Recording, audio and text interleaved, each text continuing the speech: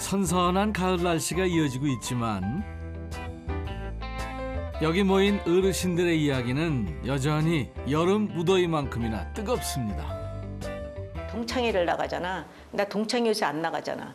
동창회 나갔다 오면 이제 친구들 그렇게 보고 뭐 마음이 그냥 집에 오면은 우울한 거야. 어, 내가 이게 늙었다는 걸 있지.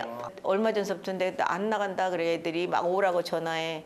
그래서 이제 어쩌다 한번 나가보긴 나가. 갔다가 오면 마음이 아- 안 좋더라고. 이제 올해 그저 60의 저 후반부를 지금 넘어가고 있는데 음악을 내가 그때 당시 그 드럼이라는 거를 그때 선택을 저기 이제 선택을. 어, 이제 한, 게- 한 곳이 지금에 와서 너무나 아주 그냥 잘했다 이런 생각이 지금 많이 좀 들죠.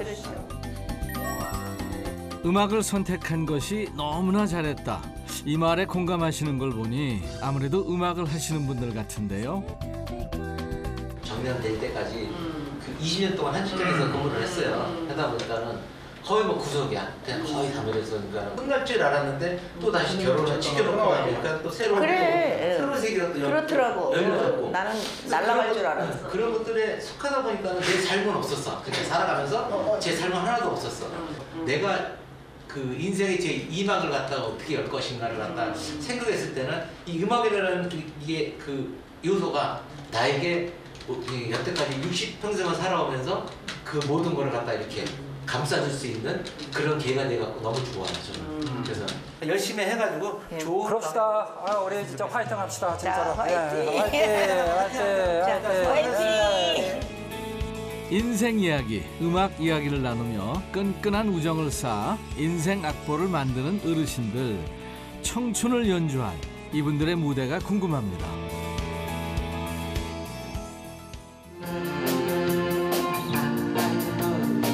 청춘을 연주하는 어르신들을 찾아간 곳. 와, 다들 멋지시네요. 많은 어르신들이 모여서 연습하고 계시네요. 보컬, 기타, 키보드, 드럼, 색소폰까지 기본 구성을 갖춘 혼성 밴드입니다. 우리 한 분만 조금 더 가까이 만나볼까요? 안녕하세요. 청춘 밴드에서 키보드를 담당하고 있는 5년차 김동아입니다. 청춘 밴드에서 키보드 연주를 담당하고 있는 김동화 어르신이군요. 반갑습니다.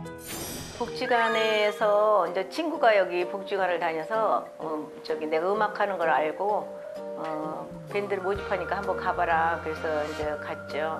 그랬더니 이제 워낙은 제가 음, 드럼을 좀 그때는 하고 있었고 그래서 드럼을 하겠다고 했는데 다른 분이 오셨다 그랬어. 그럼 키보드를 조금 약간은 하는데 어떠냐 그랬더니 해보라 그래가지고 그때서부터 어, 시작하게 됐습니다. 키보드 연주 실력이 좋으셔서 연주 경력이 오래된 줄 알았는데 청춘 밴드를 지원하면서 배우신 거라니 정말 대단하세요. 우리가 나이는 숫자에 불과하다 이렇게 흔히 말하는데 늦은 나이에 꾸준히 활동하고 또 새롭게 무언가를 배우는 일 결코 쉬운 일은 아니었을 텐데요. 그 동호회니까 거기에서 이제 선배들한테 배울 수도 있다. 그래서 제가 뭐 이거를 가지고 뭐 어디를 나가서 그 뭐 수입을 얻어야 되는 게 아니기 때문에 그냥 노후에 배우는 거는 이제 부담 없이 배우고 싶어서 그냥 그 선배들한테 나이 저보다 어린 선배들한테 이제 좀 해서 나 요거 치고 싶은데 가르쳐 달라 이렇게 해가지고 주로 선배들한테 지- 아, 그 음악실 선배들한테 해서 그냥 어깨너머로 배웠습니다. 매주 월요일 오후 일렉트릭 기타, 키보드, 드럼, 색소폰, 베이스 기타, 보컬까지 총 8명의 청춘 밴드 멤버가 모두 모여 연습을 한다고 하네요. 네, 잘하셨어요. 포가 몇이요? 162요. 162. 네. 이거 이거. 각자의 악기와 파트 연주는 개별로 따로 연습하고요.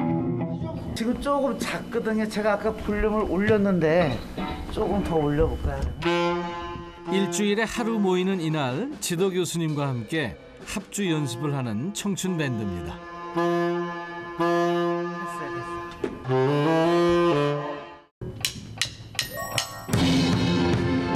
함께 모여 연습하는 시간은 부족하지만 귀한 시간인 만큼 쉬지 않고 지도에 따라 프로페셔널하게 연습에 몰두합니다.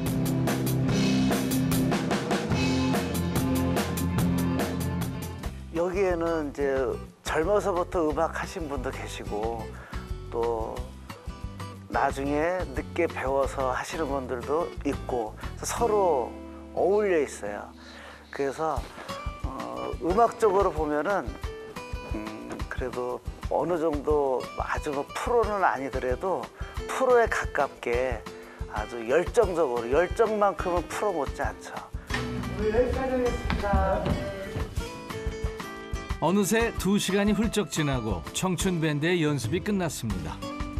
그런데 우리 김동아 어르신은 드럼 앞에 다시 앉으시네요. 우리 엄마 한번 해버렸지.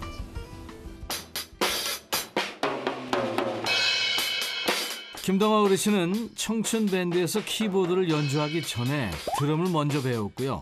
버스킹 공연에서 드럼 연주를 한 적도 있다고 하네요. 그 전에는 너무 이렇게 막 좋을 때는 막 그 여행 같은 데 가도 그 젓가락 두 개만 가져가면 몇 시간 비행기를 몇 시간씩 열 시간씩 타도 그럴 정도의 열정을 가지고 배울 무렵에 러시아 배에서 그 저녁에 이제 이렇게 그 연주하는 수 있는 계기가 돼서 그래서 거기서 저녁에 드럼을 했는데 기본적인 것만 해서 쳤는데도 사람들이 그렇게 그냥 막 막 너무 잘했다고 악수 쳐주고 그런 게 너무 좋아서 뭐든지 배워놓으면 언젠가는 쓸 날이 있구나. 음, 그래서 그거를 그때 느꼈어요. 네. 뭐든 배워두면 언젠간 빛을 발한다는 깨달음 덕분일까요? 밴드 연습실에서 집으로 돌아온 김동아 어르신은 키보드를 손에서 놓지 않고 계속 연주 연습에 집중하시네요.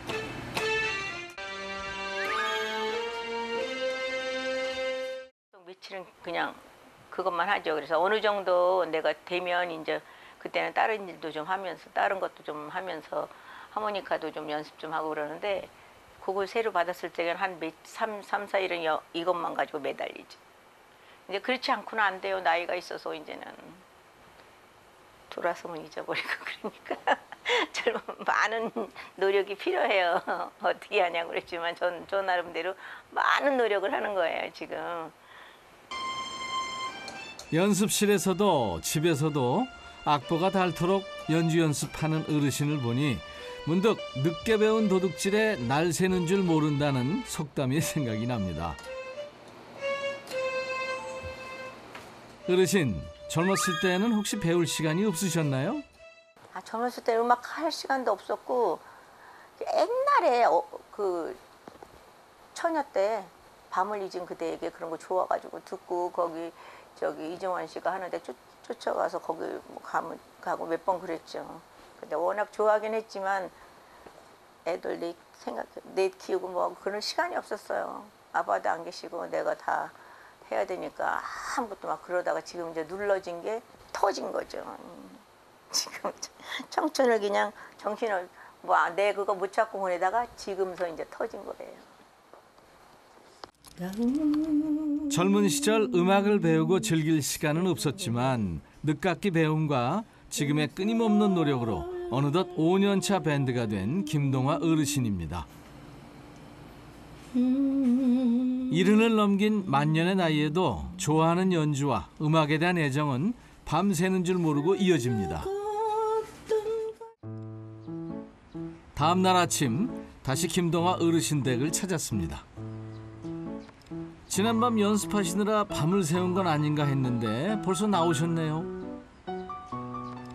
그런데 여전히 손에 스마트폰, 아니 손에 음악을 잡고 계시네요. 같이 하면서 들으면서 듣고 하면 같이 따라하면 더 좋죠. 늘 그냥 음악만 들으면 좋아요. 어딜 그렇게 즐겁게 가시는 걸까요? 음악과 함께 신나고 경쾌한 어르신의 발걸음을 쫓아가 볼까요? 이곳은 밴드 연습을 했던 그곳 아닌가요?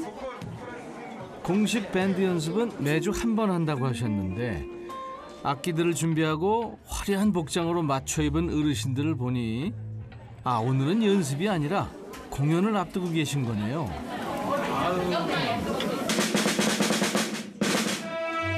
네, 선생님 키보드 이렇게 잡음을 키보, 키보드는 이렇게 잡겠습니다. 여기서 볼륨 조정해서 쓰시면 될 것 같습니다. 네, 기준 잡았습니다. 이렇게 해서 네. 네 마디 먼저 나갈게요. 제가 네 마디.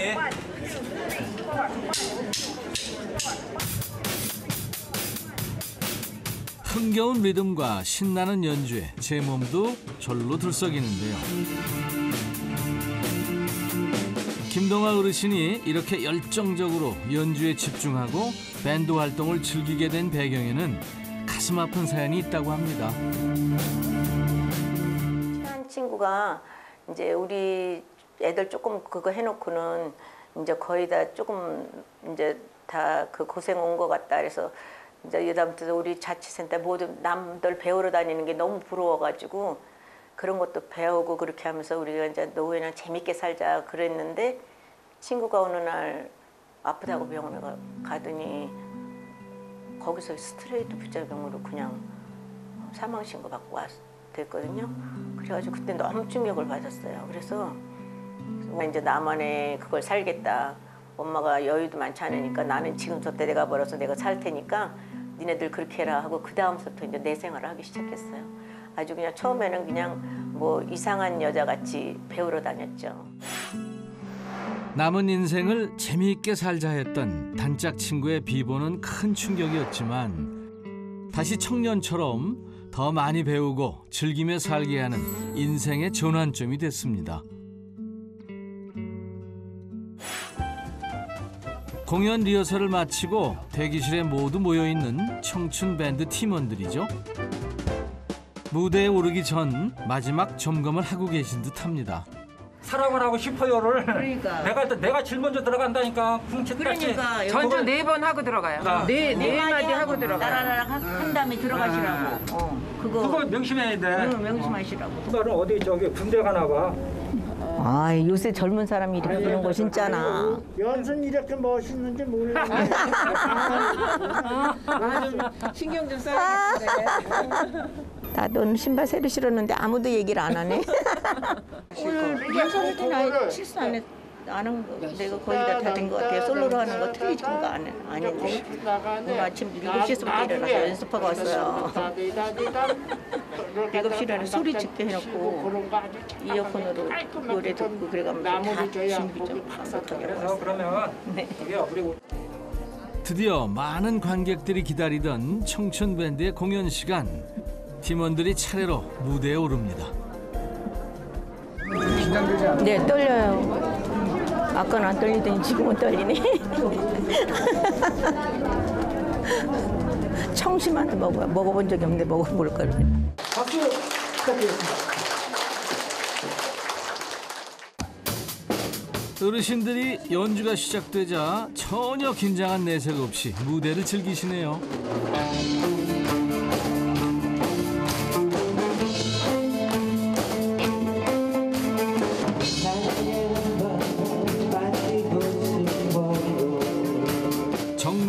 연주와 능숙한 무대 매너로 완성된 무대를 선보이는데요.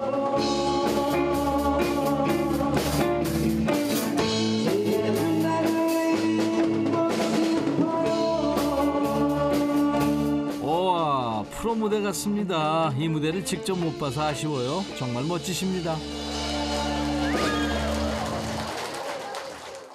내가 좋아하는 걸 하니까 그런지 몰라도 전혀 그 남들은 어떻게 그 친구들이 어떻게 이렇게 그냥 그 여러 가지를 하고 뛰어다니냐고 그러지만은 저는 그 시간이 다 새로워요. 어, 월요일 날은 뭐 하는 날이라 즐겁고 화요일 날은 또 뭐 하는 날이라 즐겁고 그 금방금방 일주일이 가고 내가 좋아하는 걸 하니까 피곤한 게 모르고 그냥 더 즐거운 거예요. 저녁에 들어오면 뭐 피곤해서 녹초가 돼서 떨어지고 이런 거 없어요. 황혼의 열정에 연륜까지 더해진 청춘 밴드의 풍성한 무대죠. 30분 넘게 이어지는 공연에도 힘든 기색은 전혀 보이지 않는데요.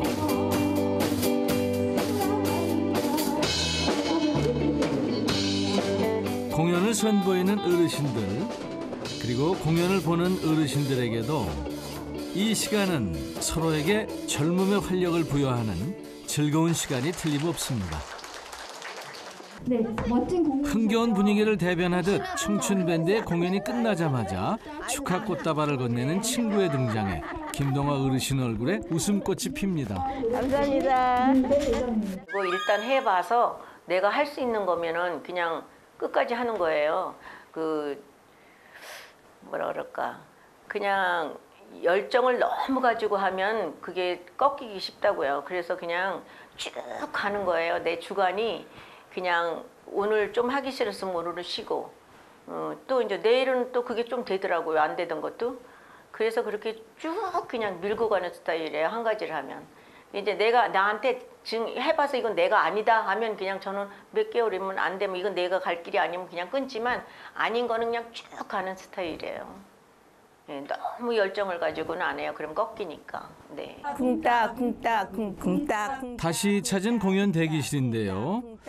설마 이곳에도 김동아 어르신이 계실까요?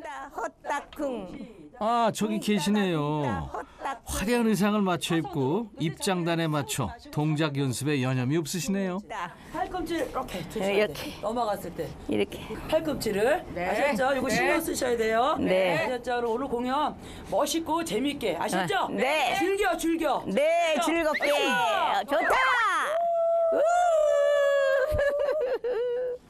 대표님이 5주년 공연인데 저희가 고구장구로 또 어, 이불을 또 장식을 하려고요. 아니 아까 공연하고 또 공연하는데 글쎄 어떻게 하다 보니까 재밌어서 하다 보니까 두 가지를 하게 됐네요. 두 번째 무대를 기다리는 시간. 대기실에서는 연습을 끝낸 어르신들의 이야기와 경쾌한 웃음소리가 끊이지 않는데요. 저기요, 선생님. 김동아 어르신과의 첫 만남 혹시 기억하세요? 처음에 말씀도 별로 말수도 없으셨어요. 어, 아까도 말씀드렸지 웃음도 별로 없으시고 그래서 어, 저분이 어떻게 여기 오셨었더니 자기도 선생님이 이걸 한번 배우고 싶어서 왜 했더니 혼자 있으니까 외롭고 많이 그러시다 그래서 아 그래 잘 오셨다고 그러면서 같이 하면서 그다 하다 보니까는 진짜 어, 웃음도 찾으시면서 되게 성실하신 거야. 예. 그리고 수업이라면 적극적으로 하고 결석이라는 게 없어. 다른 볼 일 있어도 이 수업을 하고 그걸 볼 일을 보러 가시는 거야. 이거를 너- 고고장구를 너무 너무 좋아하셔요. 그래서 건강하게 백센생 가자! 가자 가자! 가자 마시고! 좋다 마시고! 좋다 가자! 좋다 가자! 가자 마시고!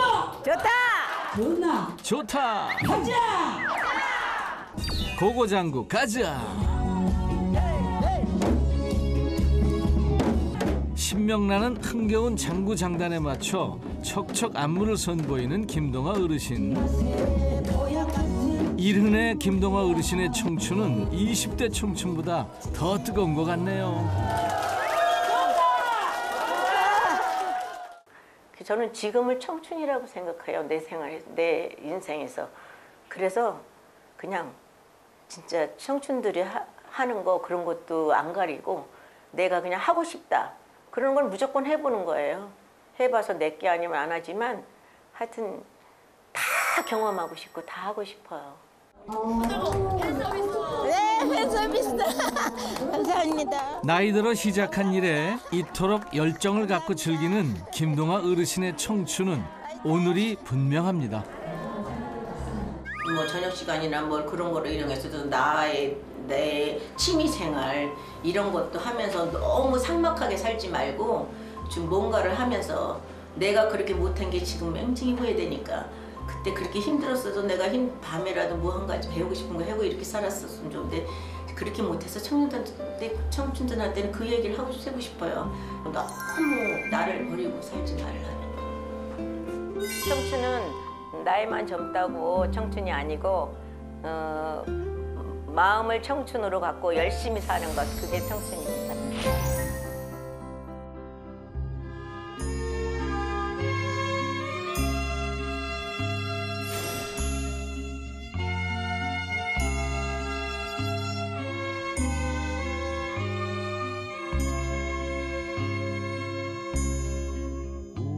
웃음 짓는 canto